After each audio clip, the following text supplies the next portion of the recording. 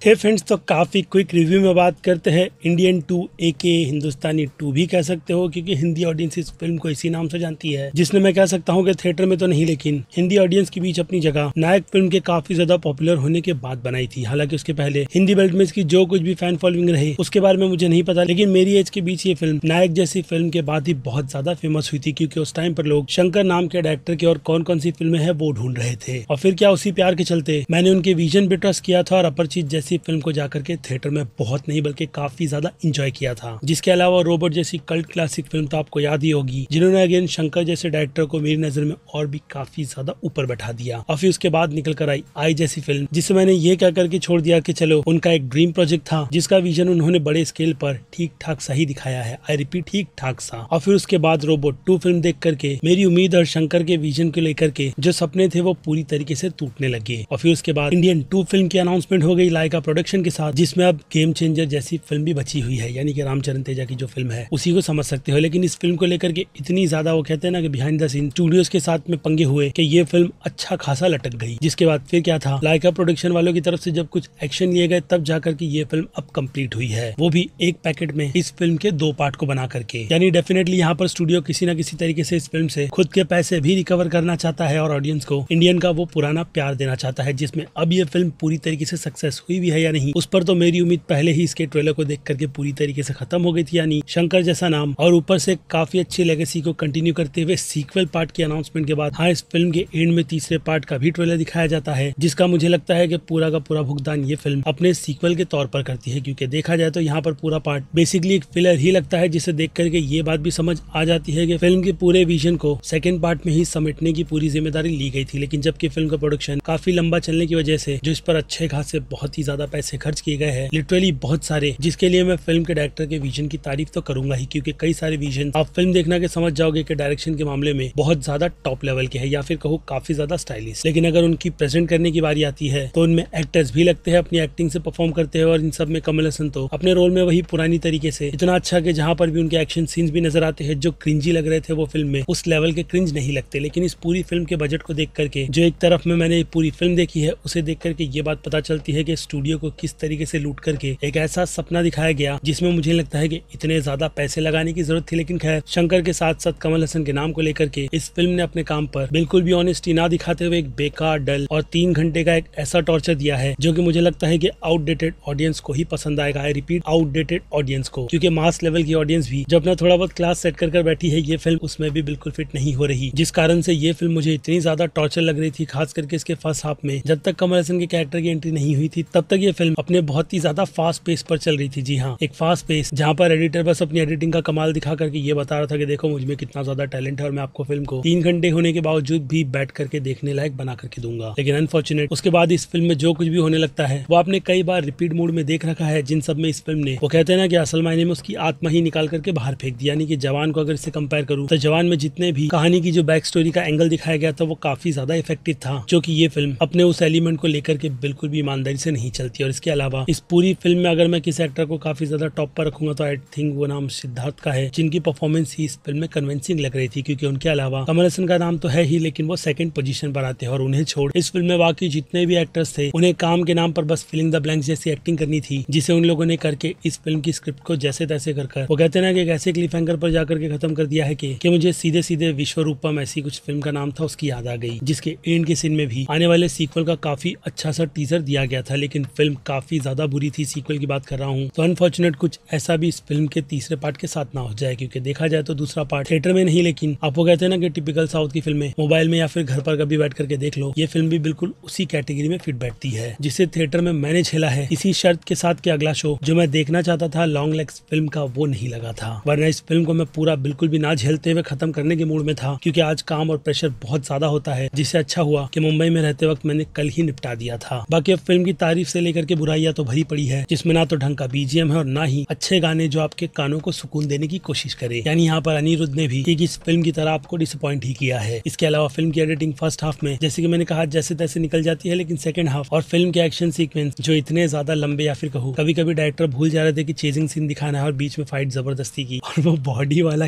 क्या एंगल था भाई? क्यों? पता है कि डायरेक्टर ने इंटरनेट पर काफ़ी ज़्यादा रिसर्च की है कि पुराने बूढ़े उस एज में अपनी बॉडी को किस तरीके से, वो कहते ना कि मेंटेन कर रखते थे लेकिन स्क्रीन पर अगर उसे दिखाना भी था तो जरा ढंग की चीज़ों को इन्वॉल्व कर कर दिखाते तो काफ़ी ज़्यादा अच्छा रहता। क्योंकि मेरी नज़र में ये एक ऐसी साउथ की फ़िल्म बन गई है, जिस बारे में मैं आपको इस वीडियो में बता चुका हूँ। बाकी कमल हसन की तरफ़ से तो उनके फैंस के लिए काफ़ी बड़ी डिसअपॉइंटमेंट थिएटर में वेट कर रही है, जाकर देखो। वरना वो जो पूरी फ़िल्म में दो उंगली दिखाते हैं, वो आपकी आँखों में डाल दी जाएगी। जिस टेक्निक का इस फ़िल्म में ओवर यूज़ कर लिया गया। बाकी कहानी को अगर थोड़ा और बैठ करके शांति से ढंग से लिखा जाता। आज की टाइमलाइन नहीं, लेकिन थोड़ा और साल पीछे की ऑब्वियसली ध्यान में रख करके तो ये फ़िल्म शायद से एक अच्छा बेंचमार्क सेट कर पाती वो भी कम बजट में, लेकिन ओवर बजट इस फ़िल्म को सिर्फ़ बड़ा बड़ा कहकर बड़ा बनाते हैं, बल्कि जिसमें असल मायने में तो ये फ़िल्म मेरी नज़र में पूरी तरीके से डूब चुकी है। जिनसे हटकर अब इस फ़िल्म की रेटिंग्स की बात की जाए तो सिंपल बातेंगे ज़्यादा डिटेल में जाने की ज़रूरत है नहीं, क्योंकि फ़िल्म भी आपसे वो डिमांड नहीं करती। इसलिए सीधे मास ऑडियंस की बात की जाए तो बी की रेटिंग उनके लिए बिल्कुल ठीक रहेगी, बाकी बात की जाए। क्रिटिक्स की तो क्रिटिक्स इस फ़िल्म को डेफिनेटली सी की ही कैटेगरी में रखेंगे, जिनसे पूरी तरीके से उतना भी ज़्यादा ना एग्री करते हुए मैं इस फ़िल्म को भले से ही डिसअपॉइंट क्यों ना हुआ हूँ बट सी प्लस की कैटेगरी में तो रख ही